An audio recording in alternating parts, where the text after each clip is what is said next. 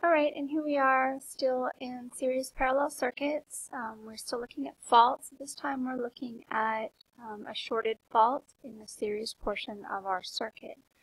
So we're going to start by shorting our only series component, which happens to be R1. So I'm right now um, putting a wire that goes around R1 and provides an alternate path for current. So current, of course, chooses the path of least resistance, and so we'll go through the wire around R1 rather than going through R1. And in that way, we short around R1. And so we find that our series parallel becomes a parallel circuit. And now that we have figured out where current is going, we will take a look at resistance.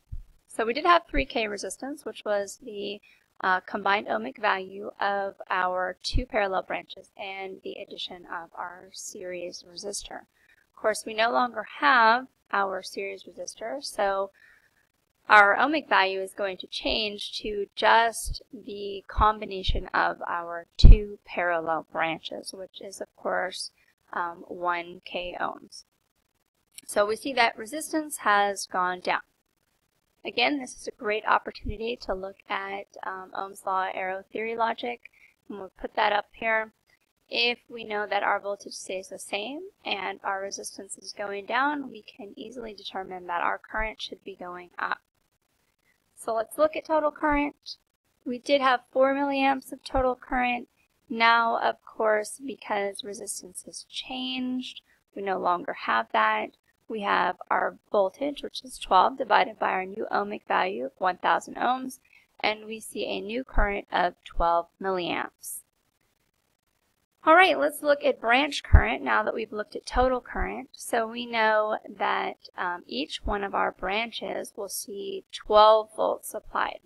So that original current of 2 milliamps is going to change. We are going to have 12 volts divided by 2k and we will see 6 milliamps in branch 1.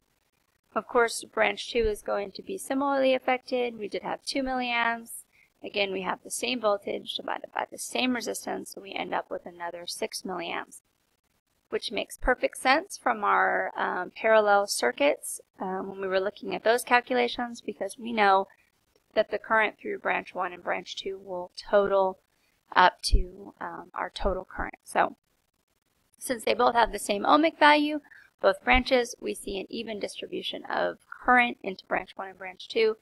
And then um, uh, when those are combined, we see our total current of 12 milliamps.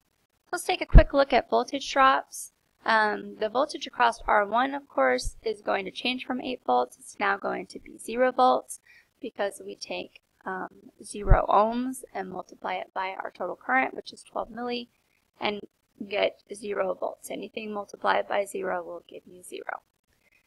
Now, um, reverting back to what we know of parallel circuits, we know that uh, voltages dropped um, the same everywhere in a parallel circuit on all the branches.